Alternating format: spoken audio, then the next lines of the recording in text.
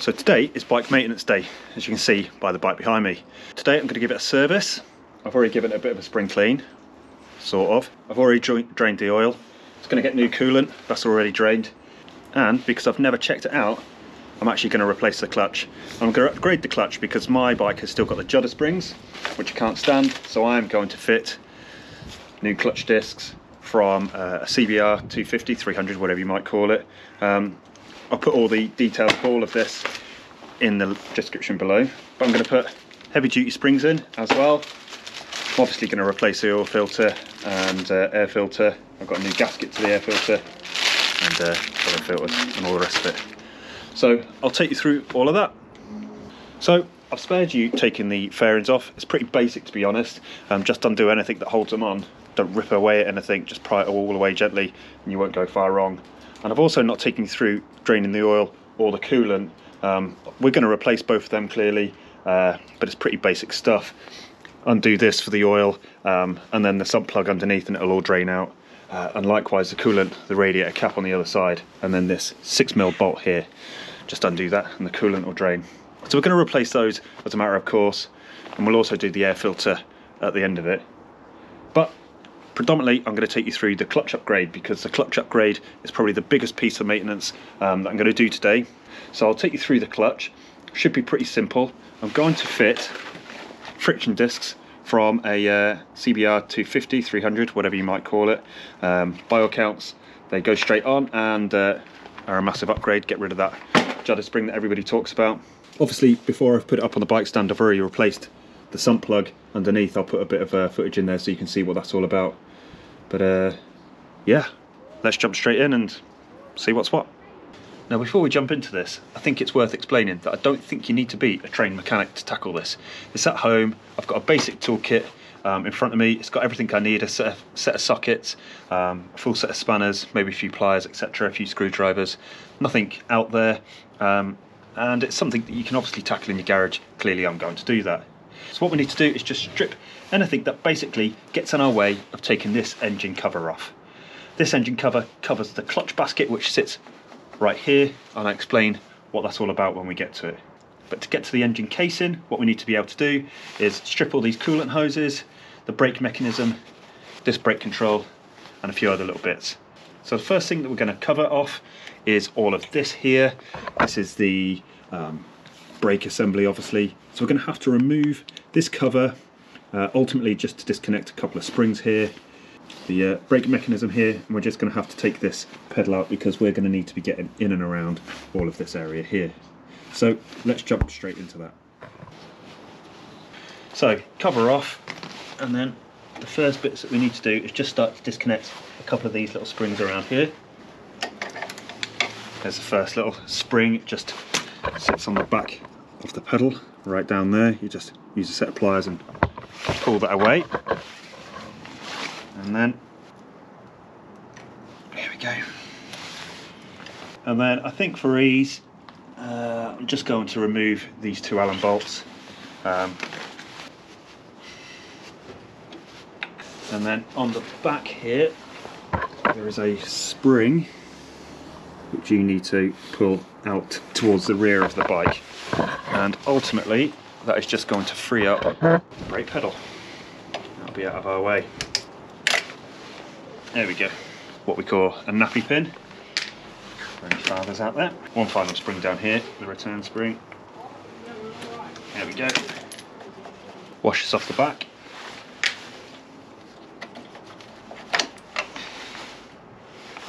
And out she pops. Now, if you wanted to do it a different way, we could have removed this little split pin here, cotter pin, call it what you will, um, but I don't have a replacement to be honest, uh, and I don't want to bend that one and get that one a bit knackered, so uh, that's just a little bit of a, a, fix, you can get around it doing that way. Um,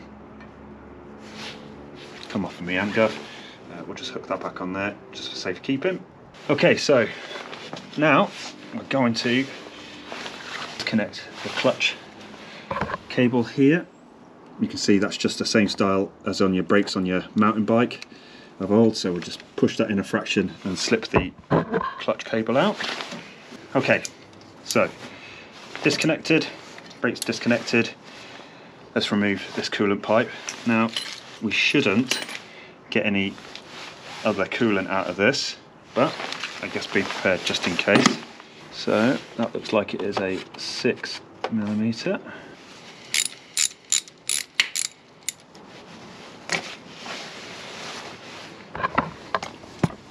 So pretty much all there is to do now is start working around the engine case, removing all the bolts. Um, they're all 8 millimeters, so get your finest 8 mil socket out. Bit of an extension bar I'd suggest. And uh, yeah, go for it. I'll, um, I'll speed this bit up for you.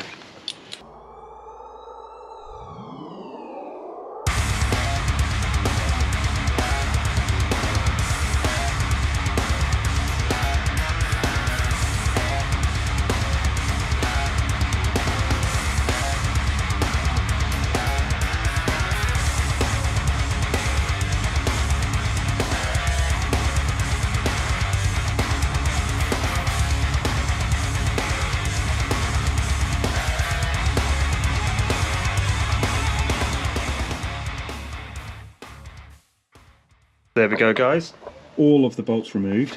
I think it's worth bearing in mind just exactly how I've organised these here. I've just taken them out, starting from this one, and then just gone around so I know exactly which one's which. And therefore I know that the slightly shorter one goes in this one here, and the slightly longer one goes in around here. So it is well worth keeping uh, a check on your bolts. Next stage is to remove the engine case. What I'm going to do here is just pry this away real gently with a screwdriver. What you'll notice is there's a couple of little bits here where you can just gently pry it with a screwdriver. So, real easy, no heroics here. You don't want to be damaging this and it should come away relatively simple anyway.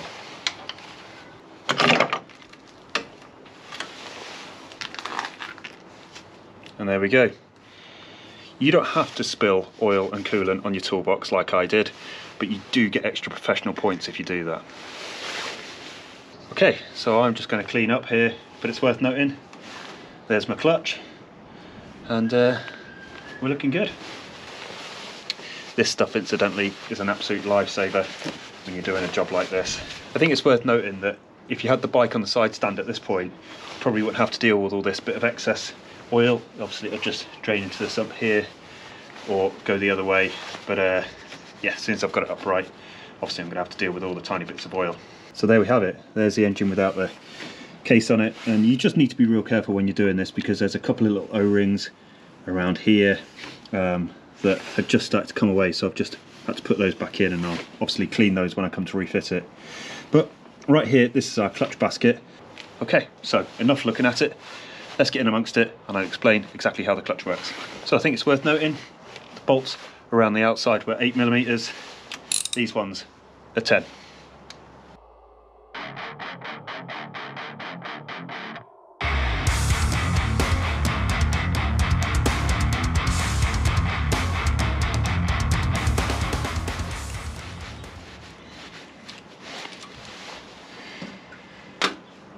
Like I previously mentioned, I'm actually going to replace these springs in any case. I don't know if they're the originals. I don't even know if the clutch is the original. I'm guessing it is.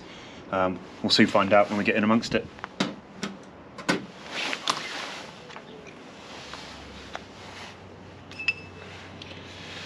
One times clutch cover, pressure plate, call it what you will. And here we go. Here's the arrangement of the clutch. Now actually this looks in pretty good shape but uh, I'm going to replace it out anyway. You can see oil dripping from this, it's perfectly normal. Bikes operate a wet clutch system, means you can slip it all the while, whereas your car is typically a dry clutch. Um, okay, so let's remove this and we'll see the condition of it.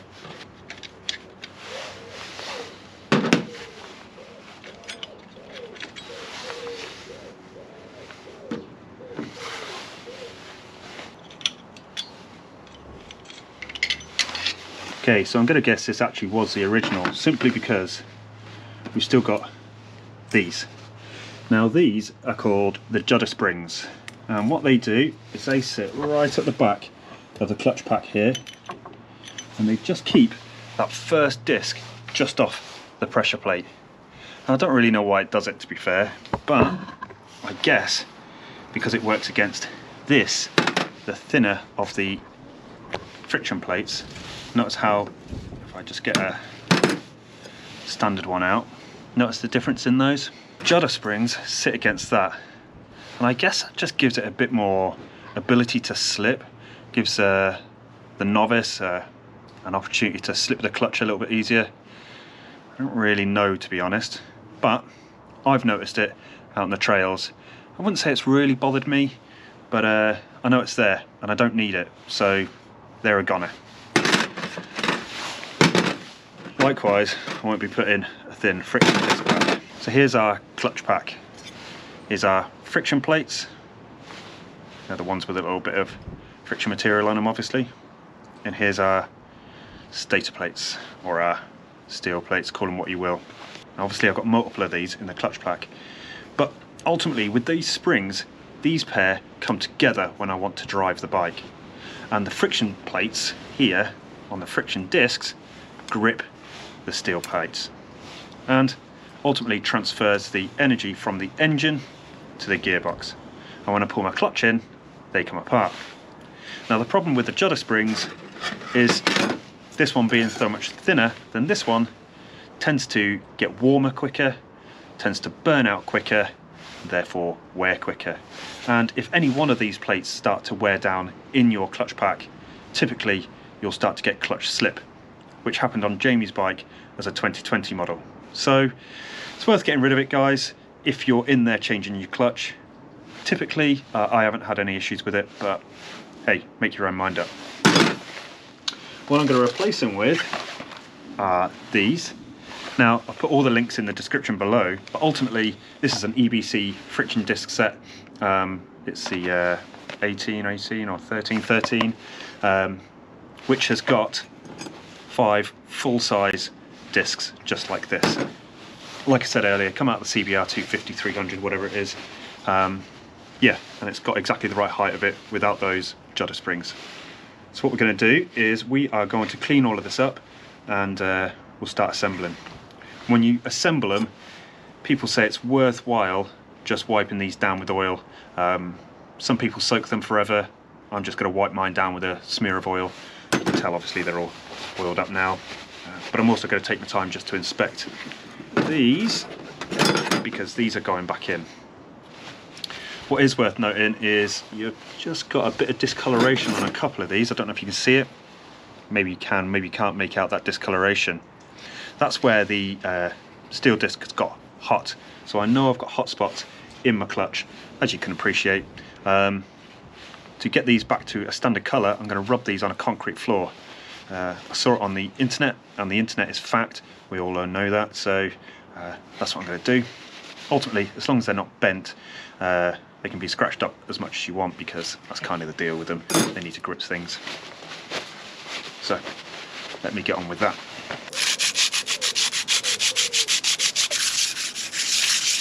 I think it must have one of the smoothest garage floors ever because I think it's just gently polishing it rather than uh, roughing it up. But hmm. okay, so that's discs cleaned up. But I just want to take you through uh, how the clutch works here because that might just help you understand exactly why you're doing this job. Now, as we saw, the clutch lives in here and this is called the clutch basket. Now ultimately, we've got one part of the clutch basket which free spins and the other which is rigid. And that's because the rigid one is attached by this mechanism here to this chain, which is driven by the engine. So that's really good news. When the engine spins, this one is going to spin. But of course, when we're in neutral, or if we've got a clutch in, we don't want the bike to be going forward, so we want this one to be able to spin. And that's where these come in. And if you notice, because the steel ones sit on the free spinning one, but the friction discs sit on the driven one. So now when they come together, the friction ones will drive these steel plates. Now when you're slipping the clutch, what you're doing is you're just bringing these away from each other ever so slightly. And of course, if you've ever run your hand along a surface and built up friction, you'll know it gets hot. And it's heat that ultimately burns a clutch out. So that's why you're doing it, guys. Um, we slip our clutches quite a lot when we're off-road. Um, they're designed to be slipped. Uh, you know, that's why it's got oil going around it and it's cooling, um, etc. But, you know, they will burn out eventually if you're not careful. So that's why we're changing it out. And you can see our new friction discs next to the old ones. Look how nice they're going to go in. And of course, we've got all five full-size friction discs to go in. And this is the order they're going to go in. Friction disc, then steel disc, friction steel, friction steel, friction steel, and so on until they're all in. Okay, time to reassemble our clutch. Now remember, you can soak these in oil. Some people will recommend that. Uh, I'm just going to give them a smear of clean engine oil. It's a bit of a messy job, so um,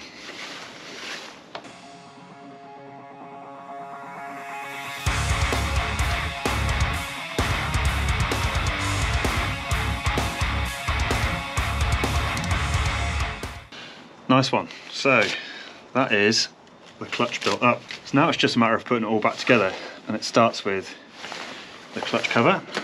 I have cleaned this because this is still one of your surfaces and the bolt just simply goes through the middle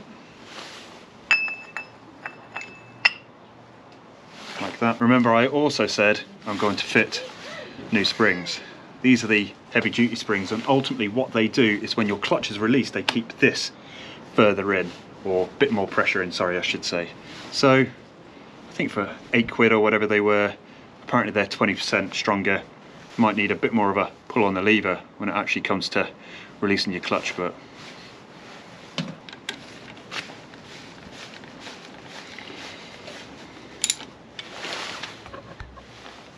Now it's probably worth noting that you should really torque these up, but uh, I do have a torque wrench, just can't really be bothered with it. Uh, so I'm just to use a bit of experience and just do them tight and a little bit. Uh, they weren't particularly tight when I took them off and I don't think they need to be particularly tight when I do them up either. So uh, tight and a bit I think. You should absolutely torque yours up. It's a sensible thing to do. Listen to the manuals, don't listen to me. I'm going to tighten them in a cross position here, so across from the one that I've tightened. There we have it. Clutch installed. It's pretty simple really. Okay, so all that's left to do is to clean this up, get this ready for the cover going back on, replace the gasket, bolt it all together and uh, Bob's your uncle. It's worth noting that this mating surface should be real nice and clean when you put the other gasket on. So uh, it's worth spending just a few minutes going around it all. So just while that's draining, let's have a look at this. This is our engine case and this is the gasket that we are going to replace. So just worth noting there's a couple of dowels here. I've got one right in my hand. There's one in the engine case over by that coolant pipe as well. Uh, and they obviously locate the cover. You might want to relocate them to the actual case if they're in the engine still, just to keep your cover in place when you put it back on. But yeah, just need to go around this real careful. This isn't clean. This isn't coming off as cleanly as the engine side, and uh, get the old razor blade around it, clean it right up. Okay, so new gasket on the cover, as you can see. There's a couple of things really worth noticing in here, guys. If you pull up on the clutch uh, release mechanism too much, that spring will come out the hole. It's pretty easy to relocate. Um, just be mindful that you do that. And also, whilst the cover's been off, I've, uh, I've released the oil filter cap, uh, cleaned that up, and we'll replace the oil filter whilst we're at it. So uh, yeah, let's get this back on the bike. So we'll just tuck this up out of the way. Move this gently and just carefully offer this back to the bike. We'll carefully offer that back up. Little tap. There we go. And we're back on. So you can see where I've released the oil filter here Uh, here's the old one. Pretty manky, to be honest. Um, and there's the old gasket. Always get a new gasket. That one's done. And uh, yeah, all that's left to do is do these back up and we're on. So once that's back on, I'll rejoin you and uh, we'll refit all the brake stuff. Okay, so let's fit the new oil filter. So we'll build up by the cover first. So your filter even has written on it outside this side towards cover. So you really can't go wrong on that bit. But where you could go wrong is there's a little spring that just sits in there. So uh, just be careful when you're building it back up. Your filter will go on first and then your cover you'll pre-position with the couple of bolts just to hold your gasket together and then don't forget your little spring.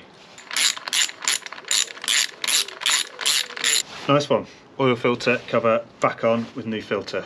So now it's just a matter of rebuilding all of this, putting it all back together, topping up the fluids, and we're good to go. So I'll do that and uh, yeah, I'll see you on the other side. There we have it guys, all buttoned up, oil topped off, just right in between the two marks. Bit of coolant, we're all squared. Clean everything down, get it all ready, get the fairings back on, and we're good to go. And there we go, old air filter. I'm just going to put a standard one back on. I've got no mods made to this or to the airbox. Uh, I don't really feel like I need that at the minute, so maybe in time uh, I'll sort that. So I'm just going to give it a quick clean in here, whack the new air filter in, and we're good to go. Pretty clean in there already, to be fair. So